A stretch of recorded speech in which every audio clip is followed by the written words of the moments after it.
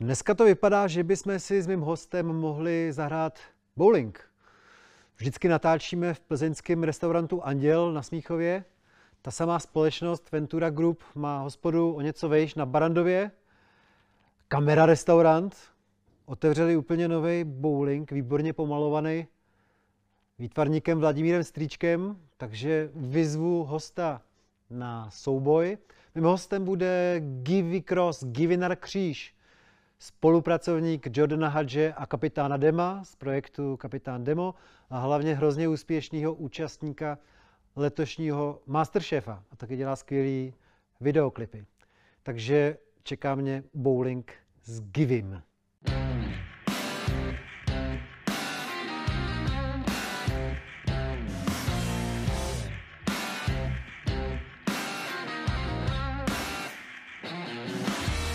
Neblázni.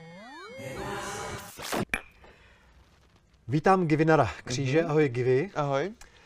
Uh, jsem si říkal, když tady byl Jordan Hatch, když tady byl kapitán Demo, že chci tebe. Teďka mám konečně jasný důvod, protože celá rodina jsme ti fandili v Masterchefovi, kde si skoro vyhrál.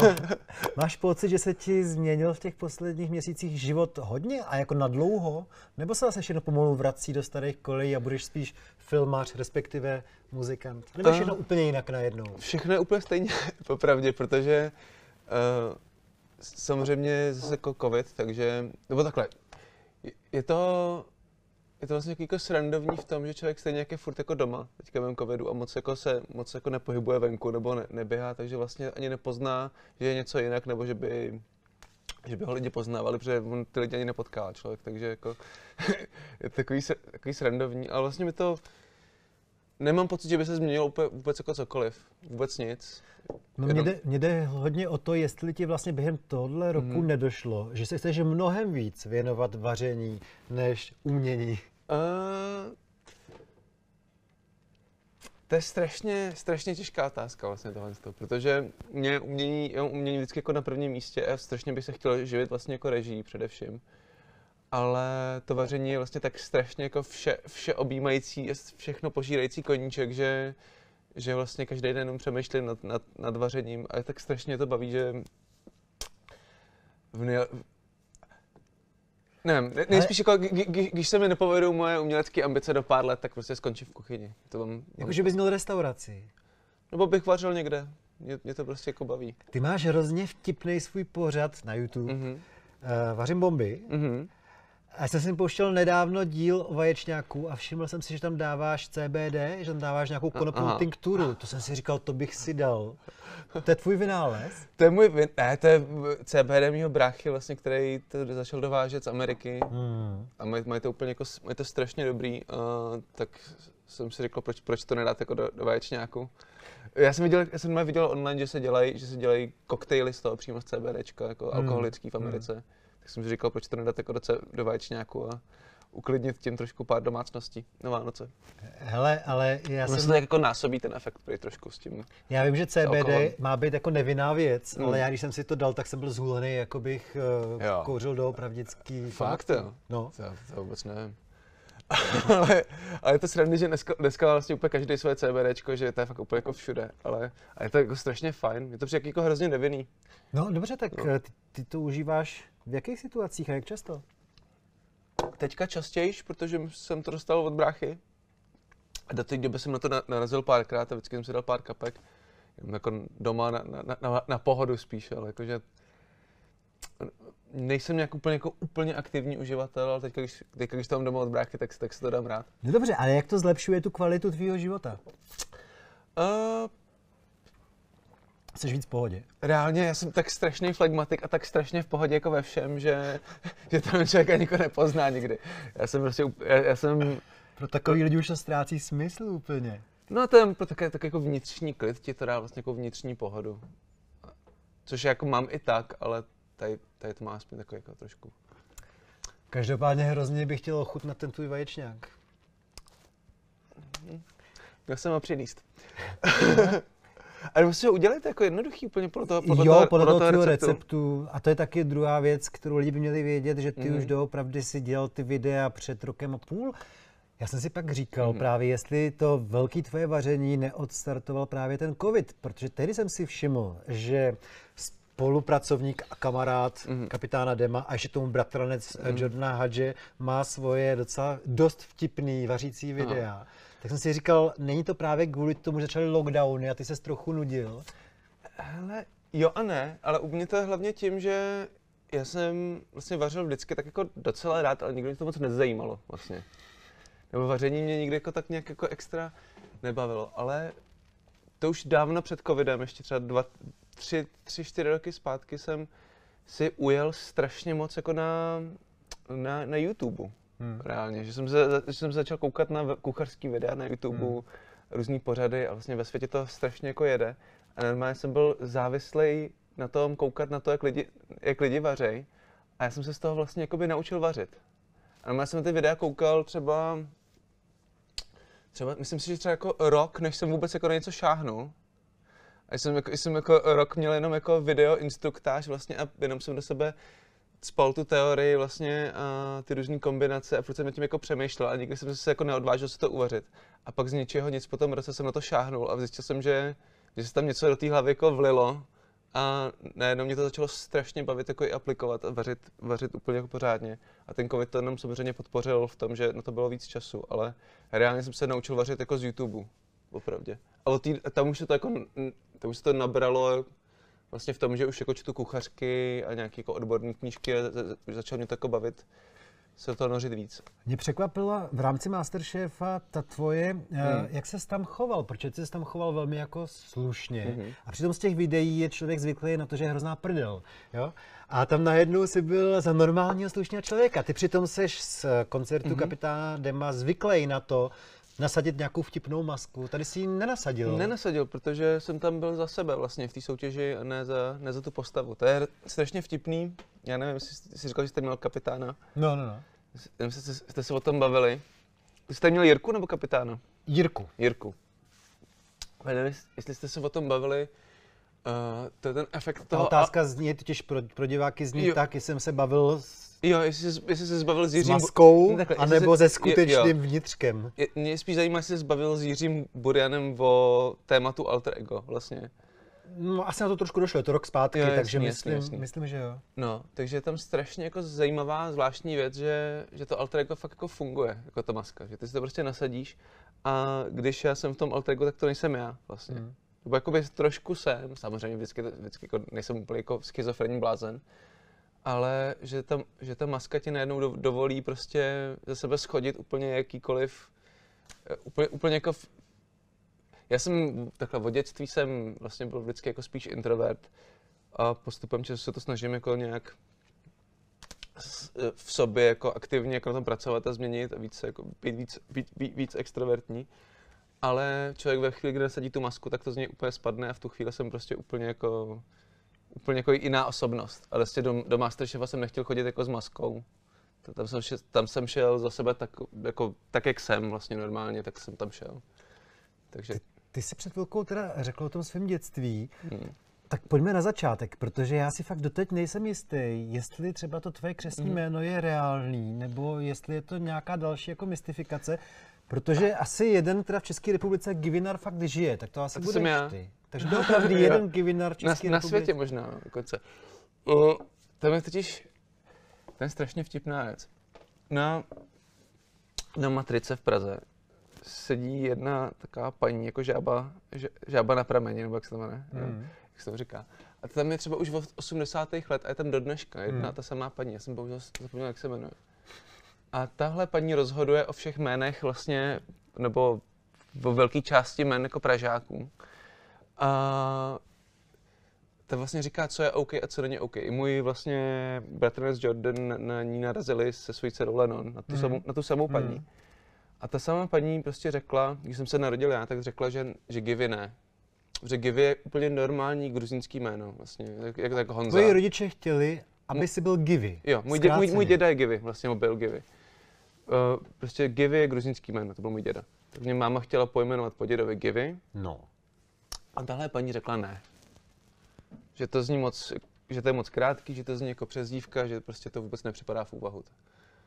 takže naši to museli jako nějak jako poslovanštit nebo prostě vymyslet nějakou jako jinou novou, novou variantu tohohle jména, jak mohl být jako Givislav, Givimír, Givi něco a prostě přišli na Givinar. A to, a to ta paní schválila. Takže, se, takže, takže to vlastně úplně jako vymyšlený jméno. Takže v Gruzii tohle jméno neexistuje. Ne. Hele, pro mě je Gruzie strašně důležitá země, protože celý své studia, i střední škola, i vysoká škola jsme jezdili každý rok na, na Kavkaz. Fakt? Takže já jsem zamilovaný úplně do Gruzie a tam jsem si propil játra samozřejmě. tak uh, pojďme si chvilku o tom povídat. Jasně. Čili tvoje maminka je gruzínka? Gruzínka ze Suchumy, což je takový... Jo. Samozřejmě Suchumy dnešní Abcházie. No, mm-hmm. právě. Nádherná oblast, která bohužel třeba v 90. let si prošla tou občanskou válkou. Já si, já si ji právě nepamatuju, bohužel. A teďka nás tam nepustějí. Máma o to vypráví furt strašně jako s největší láskou. Mě bylo třeba tři, když začala ta válka, že si jako mám nějaký útržky, si pamatuju tu oblast a že to je vlastně uh, jedna z nejhezčích vlastně částí vlastně celý bývalého sovětského svazu. Taky si tam ty Stalinové stavěli ty velké dači, že Všichni tam měli, všichni tam měli chaty, vlastně všichni hmm. pohlaváři. Hmm. A to vlastně Černý moře, vlastně skoro jako subtropy, citrusy. Rostou tam citrusy. A do toho tam jsou jehličnatý prostě stromy a, a zasněžený Úžasná hory. věc, že dole máš fakt subtropy a nahoře máš ten vysoký právě, Kavkaz nad právě, tím, právě, to je nádhera. Právě. No a moje máma tam vlastně vyrůstala, tam se seznámila s mým tátou vlastně dokonce. příležitosti? Táta dělal nějaký plavčíka na lodi někde.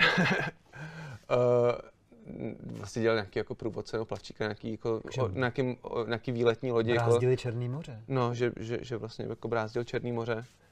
A taky potkal někde na molu a t- pozvali na rande a ten samý den jí, poz, jí požádal o ruku vlastně. Ona řekla, že jo. Pak se jako rok psali a volali a pak, pak se fakt jako vzali.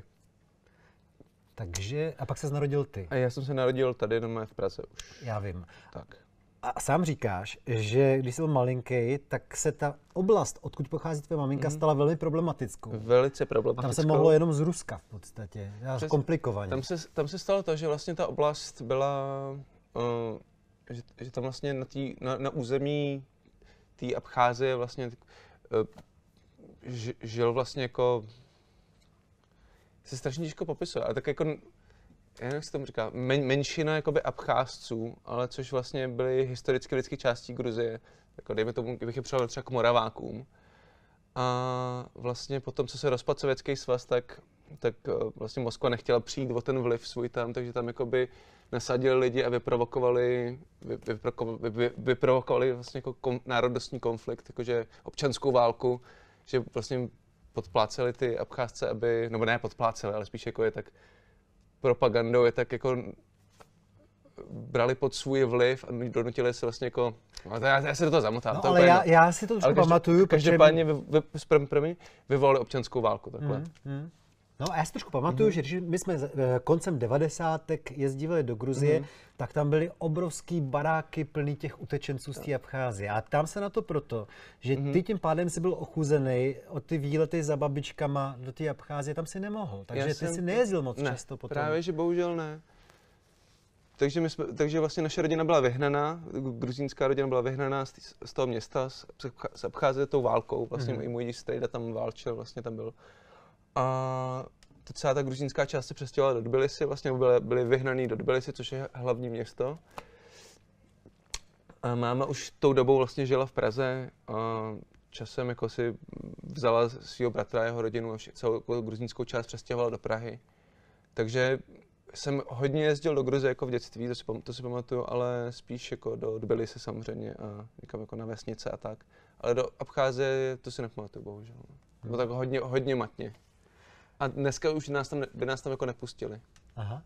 No a nahoru do těch hor, eh, do toho Kavkazu, kde je ta obrovská kultura toho chlastání samohonky a tak, tam si nikdy nejezdil? Ne, ne, ne. Uh, já jsem vlastně celý, celý dětství mám fakt jenom vzpomínky především na Tbilisi, na to, jak tam nebyla elektřina a všechno. A pak kolem roku, roku 2004 snad se tam jako celý otočilo a začaly tam proudit peníze a celý se to strašně jako zmodernizovalo a dneska vlastně byly si jedno z, nej, z nejmodernějších měst jako toho, tý, v mnoha ohledech třeba mnohem modernější než Praha. co se týče jako vybavenosti a nějakých různých míst. A, a já jsem tam byl právě teďka, jako dospělý člověk jsem tam byl teprve před třema rokama, jsem dostal třicátiny a byl jsem z toho úplně jako v šoku, jak je to, jak je to naprosto skvělý. A to jsem tehdy, to jsem tam byl asi poprvé jako dospělý člověk, kdy jsem si mohl dělat, co chci a nemusel jsem, nebyl jsem jako odkázaný na rodinu. Takže jsem vlastně měl možnost na, na tu zemi koukat jako úplně jiným pohledem. A je to neskutečný, je fakt strašně skvělý. A byl jsem na, na, na tom Kazbegu vlastně, co je, což je tam hned vedle, vedle byli si asi hodinu a půl. A to je fakt, to je tak strašně krásný, ten Kavkaz, nebo ty hory. Taky jsi tam pije pivo jménem Kazbek. Jo, jo, no jasně. Neblázni. No a takže ty umíš takový ty chačapury a podobný gruzínský umím, umím. jídla? To je teďka, to je vlastně, to je vlastně můj plán v blízké budoucnosti, co, co bych chtěl hrozně jako dělat. Uh, je mít, netrouf, jako rozhodně si netroufám na to mít vlastně jako restauraci nebo cokoliv, nebo bohužel ani vzhledem k mým jako uměleckým ambicím zatím tak jako si ani neplánuju vlastně jako prac, prac, zatím pracovat každý den v kuchyni. Ale strašně rád bych chtěl mít jako nárazový jako pop-upy nebo něco jako vymyslet, třeba vařit jako jednou párkrát do měsíce, dělat nějaký jako párkrát do měsíce nějaký, nějaký události gastronomický. A strašně mě baví jako spojit moderní gastronomii s gruzínskou kuchyní, jako s těma ingrediencema. Takže teďka aktivně přemýšlím nad tím, jako že bych dělal nějaký, že bych, že bych se aspoň pokusil, mám pár kamarádů vlastně z, z, uh, z fine diningu, takže sám bych se na to samozřejmě netrouf, jako, tak, tak daleko nejsem ani zdaleka, ale že bych se spojil prostě s pár lidma z fine diningu a udělal bych nějakou jako gruzínskou, gruz, gruzínský fusion.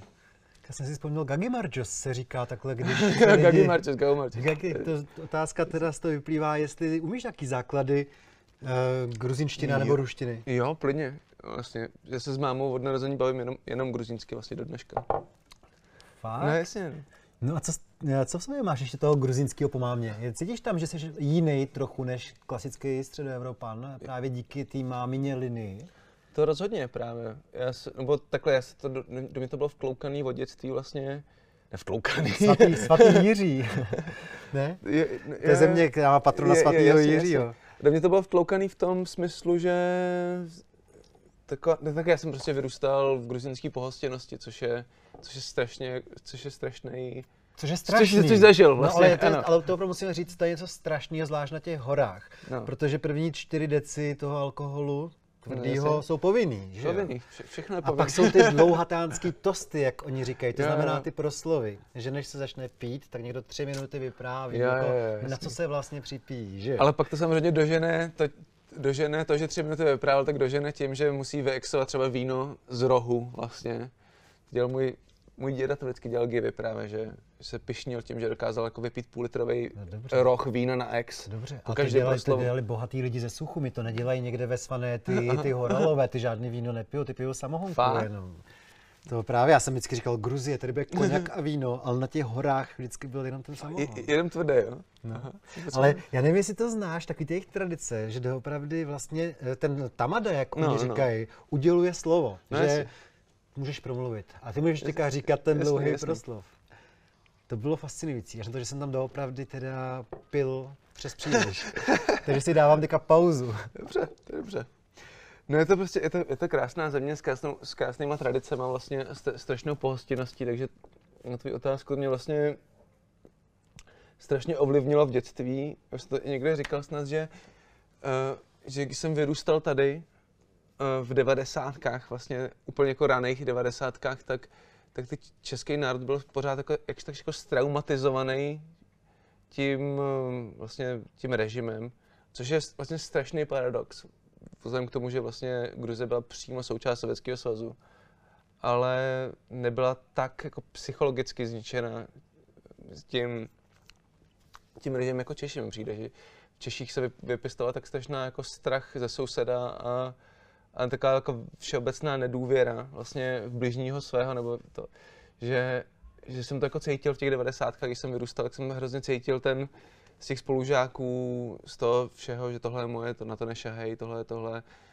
tomu nevěř, tomu nevěř, tomu nedělej, nedělej. ně- To už dávno není ta, v takové míře, jako to bývalo, Hmm. když jsem já byl Hmm. malý. Hmm. Dneska už, jsou, dneska už je to mnohem, mnohem lepší a vlastně většina mých kamarádů jsou vlastně strašně jako zlatý, zlatý pohostinný, vřelý lidi. Jenom jsem cítil prostě v tom dětství, když jsem vyrůstal, tak jsem hodně cítil ten obrovský rozdíl z té gruzínské části a z té české jako traumatizované části, takže tam, tam se to ve mně jako hodně bylo v dětství. Ale Mhm. jako A už tam nikoho nemáš dneska teda, za kým by si jezdil? jenom vzdálenou rodinu, jako nebo vzdálenou, jakože mámy, mámy sestřenice a takový. Hmm. Hmm. Ale Ale- jezdím tam rád. No. Ale a to jméno Givinar teda vlastně pro tebe není nějak důležité, ty jsi Givy. Gi- Takhle tě vždycky brali jako Givyho a Givinar je prostě umělý tvar, který... s- Jo, ale spousta lidí mi říká Gevinare, já se taky i představuju, jako v dospělosti.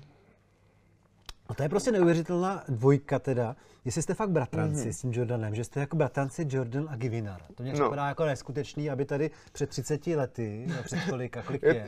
33. Tři, no, před 33 lety se narodili dva takovýhle bratranci, kteří spolu jako drží basu, evidentně, Jo, že se jmenují takhle divně. Je to obrovská náhoda, no. Že naši český rodiče měli vlastně hrozně zálusk na, na cizince asi, očividně. A jaká tam je ta provázanost že- rodinná teda mezi tebou Můj táta je Čech, a vzal si vlastně na výletní lodi Gruzinku a, a moje a Jordyho máma je Češka, což jsou souroz... můj táta a Jordyho máma jsou bratr a sestra vlastně, tak si našla vlastně palestince tady na, na, na Karlovou univerzitě jako na, na medicínské fakultě vlastně. A proto vlastně Jordan strávil spoustu let v eh, Izraeli. v Izraeli. Ty jsi nestrávil svůj čas nikde v zahraničí. Ne. Ty jsi tady žil v odloučení od Jordana, kdyby Jordan žil v Čechách, tak možná jste založili už někdy v deseti letech eh, první kapelu, Jsme ale ji založili v 15. musel jsi počkat, až se Nebo- začne vracet no, zpátky no, do. Čech. 15, 18. Takže tak. Nevíš, čím to je, že jste si evidentně celoživotně takhle sedli s tím Jordanem? To je strašně, strašně zajímavý dotaz, já vůbec nevím. My jsme si, my, my, jsme, my máme oba v sobě strašně moc jako kreativity a jsme strašně jako hračičkové a vždycky jsme v dětství se spolu hráli a strašně jsme si jako sedli už úplně, úplně od dětství, jsme si vždycky hráli spolu s Legem, uh, strašně jsme furt vymýšleli právě nějaký jako strašně jako bujnou fantazii a stra, strašně, byli jsme vlastně od dětství strašně kreativní a to nás vlastně spojilo nejvíc, reálně. A pak Jordy jsem vždycky jezdil v létě na prázdniny, tak jsme se vždycky jako tak jako uh, updateovali o tom, co je novýho vždycky uh, ve světě, ve světě umění. Jordan mi pouštěl své izraelské vlivy, já jsem ukazoval nějaké nové věci. A tak jsme se jako navzájem na dálku ovlivňovali a pak vlastně, když jsem přestěhoval, tak jsme konečně mohli v dospělosti vlastně nějak spojit síly a vlastně se konečně jako vlastně dělat spolu. My jsme zaregistrovali asi výrazně kapelu Peter Pan Complex, Mhm. která možná dodnes nějak hibernuje. Já nevím, jestli ji zrušili úplně, nebo... Eh, u- Uspali zatím. No, to No. jsem si myslel. To byla výborná kapela přitom, která měla asi nějakou ambici, jakože by se mohla hrát i v zahraničí.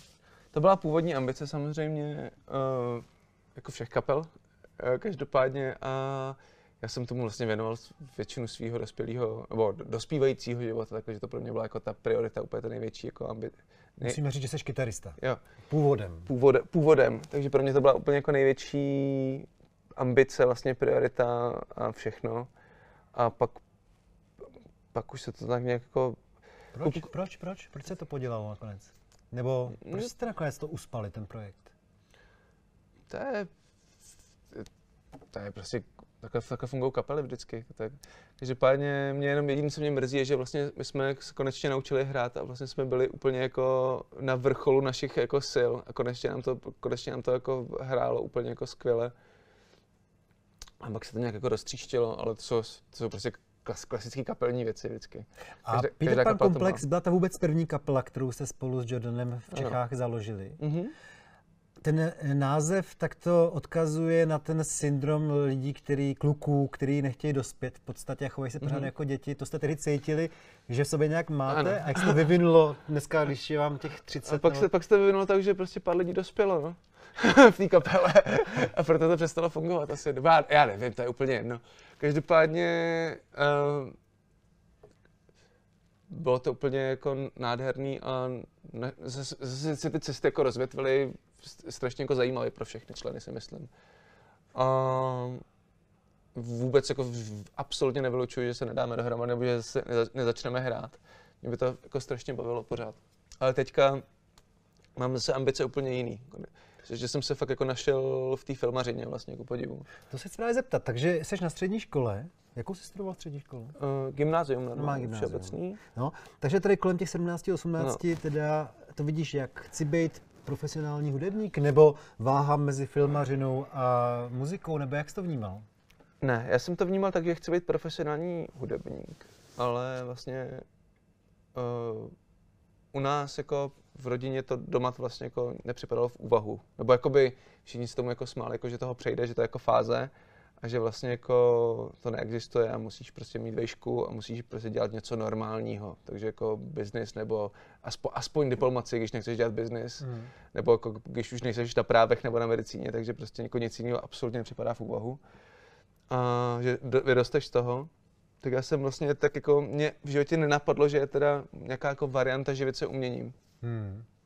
Ale furt jsem tak vnitřně jako doufal, že mě strašně bavila ta hudba. A tak si jsem vystudoval jako mezinárodní vztahy vlastně. Hmm. Výšku. Takže nějaká diplomacie tam hrozila. Eh, hrozila a já jsem to prostě vystudoval, strašně to nebavilo vlastně. Je... Ale díky tomu třeba umíš podle mě dobře jazyky. Ale to je spíš z dětství kvůli mámě, že, do, že na mě vlastně jako mluvila v dětství gruzínský, rodiče se bavili rusky, takže jsem to pochytil taky. Já vím, ale Jordan třeba říká, že anglicky umíš mnohem líp než on. Angličtina se to je, mi přirostla strašně jako blízko k srdci, jsem koukal na anglické pohádky v dětství a pak jsem začal číst v angličtině. Je to, je to prostě pro mě, to, je to můj vlastně jako druhý jazyk, ráně angličtina mm-hmm. teďka. Ale každopádně ta diplomacie, nebo vystudoval jsem tu školu, pak jsem doma položil diplom, tam jsem se vlastně utvrdil v tom, že mě to vlastně strašně nebaví. A že Vůbec, to vlastně... ani na chvilku tě nenapadlo, ne. že bys to chtěl dělat? Ne, ani na chvilku. Mohl jsi být teďka konzulem nebo velvyslancem v Tbilisi? Mohl, ale mě to prostě fakt tak strašně nebavilo. A měl jsem tak furt, jako furt jsem měl v hlavě tu muziku, muziku, muziku, muziku, muziku. A pak se to, takže jsem vlastně sázal všechno na to. A pak se stalo teda to, že Emma Smetana, Jodio, holka, měla točit klip vlastně a ten režisér to zrušil. Ona řekla, tak vlastně, tak proč to nezrežirujete vy s Jordem, když jste tak kreativní? My jsme, se jako, my jsme to vzali jako výzvu, když jsme se hrozně jako zhrozili, že to vůbec jako, že, že jsme to v životě nedělali. A pak jsme to vzali jako výzvu, takže jsme to vlastně jak celý vymysleli, našli jsme si na to lidi, zrežírovali jsme to vlastně a zjistili jsme, že to je vlastně úplně nejlepší věc na světě. A, nebo aspoň pro mě, mě to jako strašně chytlo, ten klip do dneška vlastně miluju. To, pro... to je třeba 8-10 let zpátky. Ne, to je třeba 5 let zpátky. 4-5 let zpátky. No. A od té doby jste natočili spoustu uh, klipů skvělých, já hodně kamarádím s vypsanou fixou, tak no. vím, že nemít dvě, dvě písničky jste skvěle jo, jo, udělali a, a hned druhý klip byl pro vypsanou fixu, ty limity. No, no, no, a pak krabičku jste ještě jo, jo, dělali. Neblázni. No, ale tam mě prostě nepřád nevychází, tam muselo být nějakých pár let, kdy se s něčím musela si živit, protože ta muzika tě úplně neuživila, jo, klipy si ještě nedělal. Do, do, dobrý postřeh, já jsem, já jsem pracoval všude možně, já jsem dělal v advokátní kanceláři, jsem překládal nějaký smlouvy, pak jsem dělal v cestovce, pak jsem dělal v nadaci Dáše Havlový vlastně chvíli. Já jsem vždycky tak jako střídal různé práce kancelářský, taky, taky, mi, taky mi to nešlo moc, popravdě, protože to strašně jako ubíjelo. Takže jsem se vždycky tak, tak se nějak jako potloukal a, a vlastně... Pořád si doufal, já, já, že to vyjde s tou já, muzikou. Přesně, pořád jsem doufal, že to vyjde s tou muzikou. A z ničeho nic se vlastně... Já přemýšlím na to chronologii, jak to bylo. A každopádně jsme začali s Jordem jako hodně točit klipy. Hmm. No, on se taky moc nevydělá v českých ani, ani náhodou. Ani náhodou. Uh, tím se nedá vidět vůbec nic vlastně, ale tam jsem si našel vlastně jako lásku k, tý, k tomu filmařskému řemeslu, vlastně nějakou, nějak, nějaký, jako, nějaký cíl životní. No a, a pak se stalo to vlastně, že já jsem byl vždycky, jak jsem, jak jsem byl vždycky jako hračička nebo jako kreativní dement, tak jsem vlastně byl jako původní youtuber, vlastně, což dneska se tím lidi živějí na, na, jako na, na sociálních sítích a na Instagramu a na TikToku a to, ale v té době nic nebylo takového. A mě strašně bavilo nahrát úplně jako debilní videa na Facebook. Takže jsem měl jako svůj facebookový, facebookový videa, které jsou do, do, do dneška. Je to strašně trapný, je to vlastně úplná, úplná jako debilita. Pod jménem ale... Givy Cross? Nebo? Ne, normálně jako, jako Giviner Kříž. Jako, normálně, že jsem se vždycky jako nudil, jak jsem nahrál nějaký video, což dneska vlastně dělá celý svět. A v té době jsem, a bylo to úplný, ale úplný, úplný blbosti. Vlastně. A jednou jsem vlastně tak, jen tak jako ze srandy nahrál písničku Nenávidím koně, ale koně mě mají rádi.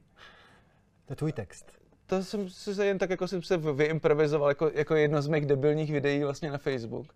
A to asi z ničeho nic všimnul Jiří Burian, který se mi ozval, jako, že to se mnou chce nahrát tu písničku na novou desku Kapitána Dema. Já říkám, kde je Kapitán Dema, vůbec nevím. Vůbec jsem jako netušil, co, co se děje. Byl jsem na jednom koncertě někde v Akropoli, kdy byl převlečený za obrovský budík a a... Počkej, teďka mi dochází, že teda on oslovil dřív tebe než Jordan. No jasně. Jo, takhle. Že on, on oslovil mě a já jsem s ním vlastně nahrál tuhle písničku, Návidím koně, ale koně mě mají rádi. A potom jsem, potom jsem vlastně si mě pozval, abych s ním vystoupil v Sama doma. Já jsem na to hrál tam jsem hrál, ságo. tam jsem hrál na playback na saxofon právě. A pak už se to začalo tak jako nějak valit a vlastně jsme strašně jako si sedli jako lidi s Jirkou a sedli jsme si strašně kreativní, takže já jsem do toho všeho zapojil Jordyho a Jordy si s Jirkou taky se to strašně moc. A najednou se s kapitánem Dema z ničeho nic stala taková jakoby týmová věc, kdy my jsme mu začali režovat klipy, do toho jsme začali vlastně s ním vymýšlet jako songy taky, nebo témata, aspoň nadhazovat, vždycky dělal ty beaty a svoje sloky, každý jsme začali psát vlastní sloky, a nějak jsme to začali dělat jako takovou jako rodinnou firmu, vlastně poslední tři desky asi, nebo čtyři. Tři, poslední tři desky. A znovu se zeptám, jako v případě Jordana, jestli umíš formulovat, čím jste si tak sedli s tím eh, kapitánem Demem, mm, Jirkou Burianem? Asi tím, tím, jaký je, tím, jaký je nečeský vlastně. On taky žil dlouho na Maltě vlastně. Žil dlouho na Maltě. Ale a... je zase o dekádu starší než je od, je, jo, to jo, ale zase měl takový jako divoký život, ale má tak, má tak strašně jako tak strašně jako svůj a osobitý a vlastně má strašně jako skvělý smysl pro humor. A to je vlastně strašně jako srdečný člověk, strašně vřelej a strašně srdečný a úžasný člověk, takže jsme se jako zamilovali okamžitě samozřejmě a on nějakým způsobem nás taky, takže od té doby spolu děláme úplně všechno. No. Tak já jsem se na začátku toho rozhovoru ptal, jestli ti Masterchef nějak změnil život a evidentně moc ne, ale tohle setkání s eh, kapitánem Demem, to ti změnilo život. Protože mi... najednou si měl i docela spolehlivý a dobrý zdroj e, financí. Přesně tak. To mi, to, tohle setkání mi vlastně změnilo život. Můj dospělý zatím. A tam je teda třeba říct, protože lidi si možná myslí, lidi, kteří už to vůbec mm-hmm. vědí, že ty dva, eh, co tam jsou na tom mm-hmm. pódiu, no v těch klipech s Demem, seš ty a Jordan, mm-hmm tak je potřeba ještě jim říct, že vy taky spoustu práce fakt odvedete, že podle mě ty tam eh, skládáš jakoby i nějakou muziku, i nějaký texty, že to není práce všechno jenom Jirkova. Jakoby Takhle, je to strašně, je to strašně jako symbioza. Třeba většinou na těch deskách třeba půlku věcí udělá Jirka sám, jen tak vysype, že on prostě sype z rukávu samý věci, jako pořád. A spousta těch věcí vzniká v dodávce, třeba když jako jedeme, jsme prostě projezdili celou Českou republiku tisíc, máme za sebou podobně třeba tisíc koncertů minimálně. A strávili jsme strašně moc hodin v, dodáv, v dodávce vlastně a tam vznikají ty nový témata na písničky, tam vždycky pak si nahazujeme jako nějaké jako nápady na songy, nápady na vtipy vlastně, na rýmy a takové věci. Takže to, spousta toho vzniká jako kolektivně. Třeba půl, půl desky je strašně moc kolektivní práce, půlka desky je jenom Jirka. A... Je hodně odpadu, jakože nakonec ty, to je trapný, to nepoužije. Jo, odpadu je, odpadu je dost. Ne, ne, ne za stolik, ale jako hodně věcí, hodně věcí je v šuplíku nebo uh, vlastně nepoužitých. Ale no a, a vlastně náš největší vliv na kapitána Dema s Jordym je vlastně ten vizuální, popravdě, jakože úplně jako, že největší. Ten už, ten už jsme vlastně dostali do, uh, nám svěřil jako do rukou. Část jako dělá i jeho manželka Darina, která to dělá vlastně skvěle, ale velkou část vlastně děláme hlavně my s Jordym, jakože ty ty vizuální nápady uh, na klipy, na ty vizuální fory. I během koncertů těch velkých, tam, jak se tam vždycky u nás odehrávají nějaké různé blbosti, tak vlastně jenom jako sypeme sypeme všichni jako z rukávu. Je to vlastně taková kolektivní práce, dost. Jasně, no, ale vy jste byli skvěle rozjetý, fakt hvězdy a přišel covid a Mě tady tuhletou dobu Loni Jordy říkal, že jste přišli třeba už tehdy o 60, 70 koncertů. Letos na podzim další koncerty Mhm. odpadaly a odpadají, Jo, že jo. To, je, to musí být Je to, Blbý. je, to, je to blbý, samozřejmě, že to je blbý, ale furt jsme jako strašně vděční za to, co máme, protože furt jsme v tom třeba stokrát líp než většina českých kapel, a což je prostě úplně nepředstavitelná věc, že, že vlastně i během toho covidu těch pár koncertů, co kdy kde proběhlo v létě nebo tak, eh, vlastně během té první vlny obzvlášť, tak vlastně my jsme, my jsme těch pár koncertů jako měli, na rozdíl od jako většina, li- vě, většiny kapel, co, co vlastně na tom schořela úplně, jako, takže je to, je to vlastně jako strašný, ale furt, furt jako si nemůžeme za stolik stěžovat, protože jsme na tom byli líp než ostatní, což je jako, což, což by si vůbec nedokážu představit, jak, jak, jak, jak špatný to muselo být pro ty kapely.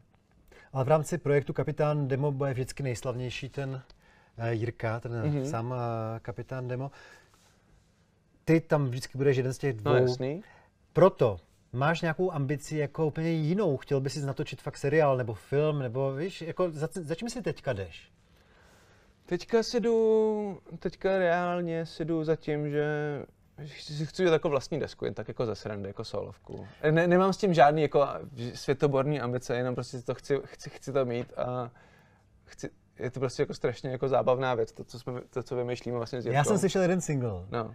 A je to prostě takový techno, nevím, jak se to dneska Jo, jo, říká, jo, ale jo. zní to jako fakt někde na čekteku, Jo, takový jako přesně, trošku bizarní, přesně, ale přesně. A ty další songy budou ještě horší mnohem, takže to, to budou takový jako skútr, hodně devadesátkový, hodně... Je to, je to asi jaký průřez vlastně všema elektronickýma, rusáckýma žánrama vlastně, takže... a to ale neříkáme možná ve špatným, protože Ne, ty to, to, to, jako nejsou vůbec špatný. té- Já to myslím úplně v tom, v tom nejlepším, nejhorším možném slova smyslu. že, to, že, to bude tak, že to bude tak strašně špatný, že to bude strašně dobrý. Ale, ale vlastně, že, ale vlastně, no, Zajímavý je ten přerod z někdejšího výborného kytaristy eh, k někoho, kdo dělá takovýhle No. bizarní, bizarní devadesátkový undergroundový techno. protože mě to baví, no. Přijde mi to jako sranda. A eh, teda A- věř tomu, že komerčně to moc úspěšný nebude. Nebude, nebude, rozhodně ne, ale, ale už do dneška vlastně ten můj první single, co jsem vydal, tak už splnil svůj účel v tom, že, eh, že vlastně už je tak, už, už, už je tak trochu, trochu kultovní mi přijde skoro. Jakože mezi fanouškama rozhodně a strašně moc lidí, eh, milují ho děti především, což je strašně jako zvláštní. Kojenci. Kojenci a, a fakt ho milujou. Fakt, to je ten rovnej, beat, rovnej rychlej beat, takže prostě denně posílají lidi videa, jak, jak děti paří před, před televizí a, a že jsou nucený vlastně ten, tu písničku pouštět třeba 30krát denně vlastně těm dětem, super. až mě nenávidějí. To je super. Ale a, e, máš už představu jako naživo, to bys tam vystupoval jako Givy Cross s tím Já- zlatým řetězem, vůbec ani- ses odpojil já- od já- kapitána jo, Dema já vůbec, ani, si. já vůbec ani nevím, jestli bych chtěl, s tím chtěl vystupovat živě, možná bych jako měl pár, pár klubo, klubových koncertů, asi určitě, ale jako nemám ambici s tím, že bych s tím jezdil jako po, po republice, spíš tak chci mít takový, jako prostě takovou, takovou jako svoji radost, tak jako svoje dítě, že si udělám desku, pár klipů a, a budu, budu to mít. Spíš mě mnoha, mám mnohem větší ambici s tím kuchařským pořadem, což mě jako strašně baví, uh, vlastně vzdělávat lidi, vařit a do toho se, do toho mě strašně baví to, to propojit vlastně s tím vizuálním médiem, vlastně, že, že si to můžu i sám jako vymyslet, zrežírovat, sestříhat, udělat jsem vlastně jako, vlastně jako fóry a to všechno možný. Takže to mě vlastně strašně láká, ku podivu tahle, tahle úroveň, že vím, že zatím nemám v plánu teda vařit v restauraci, ale mám hrozně moc v plánu jako točit vlastně kuchařský videa. Hele, já ti nechci A- mazat kolem no. pusy, ale ty to musíš udělat, protože to je fakt vtipný. Jakože to plní všechny no. ty důležité funkce, protože mě to vysvětlí, že to mám uvařit, zasměju se u toho, vypadá to dobře. to, to, to je taková vlastně jako bližší, takže to, já to chci asi dělat a už, už, už jsem, už jednám s různýma produkcemi a třeba, třeba to klapne, třeba ne, ale i kdyby to neklaplo, tak vlastně si to budu, furt budu rád točit sám vlastně a sám se to všechno na koleně, jak to dělám do teďka, prostě mě to prostě strašně baví. A jestli se to nějak monetizuje časem, tak uvidíme, jestli třeba jo, třeba ne. Já budu určitě na to koukat. Mě napadá jenom, jestli si nehodíme tady tou koulí. Děláš nějaký sporty, prosím tě. Nedělám sporty žádný. Vůbec. Ne, ne, ne. Když mi bylo 15, tak jsem boxoval chvíli a, a jinak plavání mě docela baví, ale taky jsem, taky jsem, já jsem si doma najel režim plavecký a pak přišel covid, první vlna covidu, zavřeli bazény a už jsem, už jsem se nikdy nevrátil. Neblázni. Ty vole, já to nehrál asi 10 let, jak dlouho jsi to nehrál? Ale... Sám nevím, to. Já, já vždycky to, na to narazím jako omylem na bowling, takže Tak jedem. taky jsem nehrál jako několik let. No prosím tě, ty jsi v rámci toho Masterchefa nevyhrál sice celou soutěž, ale vyhrál ty, ty, ty, hrají, ty házíš znova, že jo, po druhý. Jaže, No. díky, pojď mi tohle, to vypadá skvěle. Ale vyhrál si tu bagetu nejlepší. To No. se ještě pořád prodává v té bageterii. Uh, za, zatím jo, hele, Hele, hele, ty vole, dobrý, dobrý. Zatím se, uh, měla být nějak do, do Mikuláše, ale oni to prodloužili ještě do Vánoc, protože měli, uh, protože byla jako docela úspěšná vlastně, takže, takže, to, takže to prodloužili a hele, neštve tam ty lidi, co to plní, ty bagety, že to je moc jako sofistikovaný vlastně. právě že není, hele. Není? To je tam to, Tak to vypadá dobře. Právě, právě, že ta bageta vlastně není sofistikovaná, což je, což je asi... Čekej. No, Ty jsi laker. To šlo úplně vedle a máš čtyři skozený nebo to? no. Tam jde, jo? no, jakoby, je, je k, fr- k francouzská, což bylo to zadání. Což jako strašně vtipný na té strašně vtipný na té soutěži je to, že Poslouchám. Že to, že to vlastně už jako běží pár let, No. že to, že to, že to je vlastně každý rok a většinou ty soutěžící... Ach jo. Hodně dobrý. To je díky té kameře, protože kdyby tady nebyla, tak nic nehodím. A většinou ty soutěžící právě jako mají vymyšlenou svoji bagetu, co by tam chtěli jako mít. A jdou tam s tím do, jako do toho. A máš ještě jeden hod. Nepotřebuju. No. A takže samozřejmě jsem měl taky vymyšlenou svou bagetu, že jo? A pak tam prostě přišel v té soutěži nějaký ten porodce novej a řekl, že ta, že ta bageta má být jako francouzská. Hmm. Dávám ti šanci. No, takže prostě to zadání bylo, že ta bageta je francouzská, takže vlastně to strašně hrálo v můj prospěch vlastně v té v soutěži v tom, že vlastně většina lidí z nikoho, nikoho nenapadlo si vymyslet francouzskou bagetu a já jsem zrovna před tou soutěží jen tak ze srandy si vařil francouzský jídla, jsem se to chtěl jako naučit ty základy. Takže jsem si vlastně hrozně pamatoval nějaký postupy na taky jako různý estragonové omáčky, taky věci na tu bernskou, takže jsem to vlastně použil do té bagety a hrozně se to trefilo do toho zadání. A těch komponentů je tam vlastně hrozně málo na tu, takže vlastně se, eh, je tam vlastně jenom telecí, majonéza, sír, houby a nakla, šalotka, takže vlastně těm paním se to plní vlastně strašně jednoduše. Jo, Nebo těm, ale- těm lidem v té v té bageterii, takže To máš možná zakázáno říct, ale máš toho nějaký procenta, prosím tě, když Ne, si ho vůbec, koupíš? Nemáš. jo. Chodíš tam a dáváš si, to je trapný, vy. Hele, hele, ty si děláš ze mě srandu, ty krása. Kolik to je? nevím, nevím, Co dohrajeme? ještě... Počkej, Ach jo. mám ještě jeden hod nebo nemám? No nemáš, ale bude se ti násobit podle mě. Jo. Dobrý. No, Možná by se mohl živit bowlingem. No, takže jako přijít tam obědat si je trapas, co? asi není. Dobrý, To by mi to spadlo. je dobrý. Jestli tam bude kejvat ještě půl hodiny, tak už No, trapas to, hele, trapas to není, jako dal jsem si, jako musel jsem to zkusit, aby se- šel jsem tam s přítelkyní vlastně na ten první den a ochutnali jsme to tam na, na místě vlastně. Já jsem jí, pr- takhle, první den jsem ji prodával v Davicích. Fakt? Jo, jo. To bylo, jsi introvert. Skvělý, To je, hrozný, já, já si prodával jako Give Cross totiž. Cože? On to projede mezi, podívej. Dobře. To je dobrý. Takže já jsem tu bagetu prodával jako Give Cross, takže to vlastně byla taková hrozná Jo, jasně. sranda, takže jsem...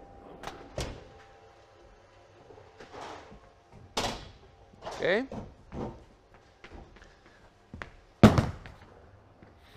Tenhle se ti dvojnásobil. Ale ten Takže- příští podle mě se ti dvojnásobí. No.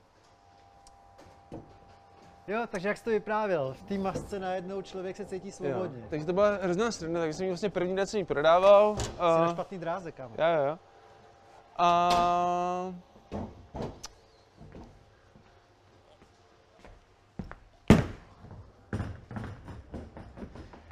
Ale ty jsi úplně prohospodařil veškerý svůj kapitál. viď? Oba ty dva hody se dvojnásobil. Vůbec nic.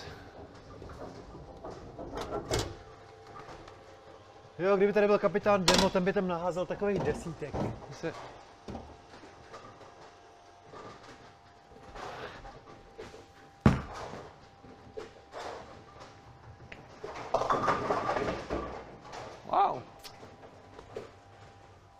Není dobrý. Dobře, a nemůžete teďka hrát koncerty, ale Aha. ty by si mohl třeba chodit po bytech a plnit lidem jejich pečiva, jakoby na jejich párty domácí a tak. Asi jo. Už tě někdo pozval k sobě, ať mu uvaříš? Za prachy? ne, ne, ne. Co? Pojď to napínavý. ne. Nepozval, nepozval, ale... Ale spíš jako já zvu, já zvu hodně lidí ke mně do mě, strašně jako baví vařit vlastně pro, pro kamarády a pro všechny možný lidi. Takže vlastně poslední dobou máme Ka- každý týden máme večeři doma. Uh, že vlastně pravidelně každý týden pořádáme večeře pro naše kamarády a je to vlastně strašně, strašně hezký, ale teď jsem vlastně dostal nabídku dělat horkou čokoládu po zítří na nějakém eventu. Uh, jako uvidí, uvidíme, nevím. Vůbec si nedokážu představit, jak, jak dělám jako horkou čokoládu pro hodně lidí, ale nějak to vymyslím třeba, takže třeba, třeba po zítří to si můžeš stavit, jestli chceš. To asi není moc pracný, ne? Dělat horkou čokoládu. Ne, asi ne, ale oni chtějí, oni- oni chtějí tu horkou čokoládu, co jsem dělal v tom jednom díle Jo, jo. toho pořadu Bařím bomby. Tak je tam přihod nějakou tinkturu z konopí taky. To bych mohl vlastně. Hele, a absolvoval jsi někdy nějakou gastrodovolenou, že by si odjel, já nevím, do Tajska třeba jenom jíst? A... Ne, ale eh, absolvoval jsem alko dovolenou teďka nedávno. Počkej, tak já hodím to mě tak rozhodilo, že jsem blbě hodil. No, to mě zajímá. A alko dovolená byla úplně nejlepší, popravdě. Já jsem totiž... Uh, moje přítelkyně jezdí už posledních pár let do, do Šampaň každý rok. Uh, do toho, vlastně do toho regionu ve Francii, kde se dělá pravý šampaňský. Takže jsme tentokrát jsme to naplánovali, jsme ještě jeli s kamarádama, jako ve čtyřech. A jeli jsme autem vlastně do Šampaň. A Bylo to No. úplně, úplně jako jedna z nejhezčích dovolených vůbec, protože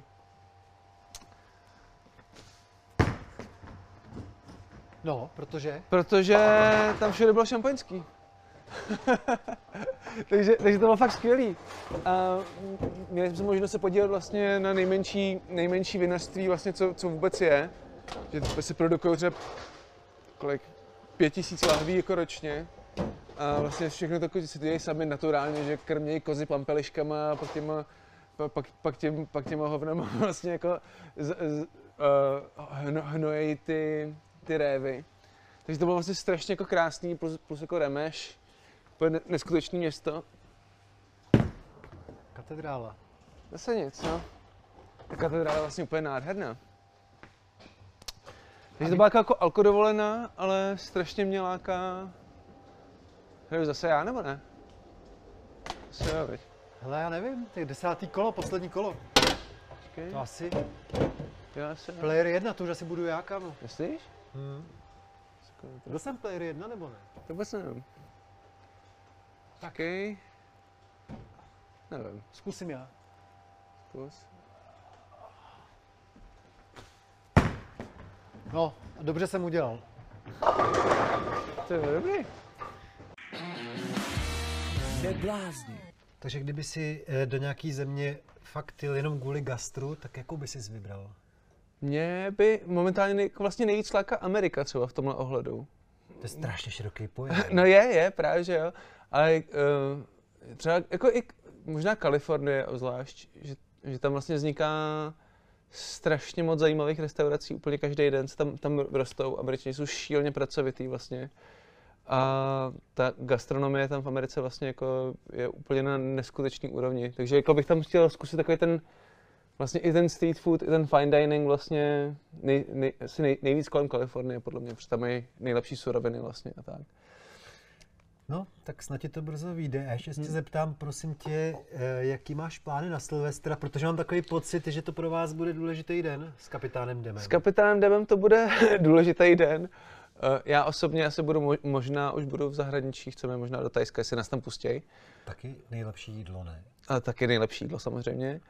A taky by to byla dobrá gastrodovolená, ale zároveň na Silvestra teda vychází nová deska kapitána Dema, na který jsme nechali hodně, hodně práce a jsme vlastně na ní hodně pišný, popravdě. A zároveň s tím vychází klip, který teďka točíme, vlastně takový sci-fi, ho, hodně, hodně sci-fi romský klip. Romský. Ro, romsk, romský sci-fi, tak. Se těším. Uh, jmenuje se dneska Mistr světa? Mistr světa všeho. Klasický název. Ano. Tak já se těším na křest. Až tak pomine tady ta doba hrozná zase. Ten Tak plánujeme vlastně možná na květen už. jo, Máme předdomluvený něco, no. moc se těším. Já Děkuju, že jsi přišel. Tak jo. Já moc děkuji za, za, za pozvání, bylo to strašně fajn.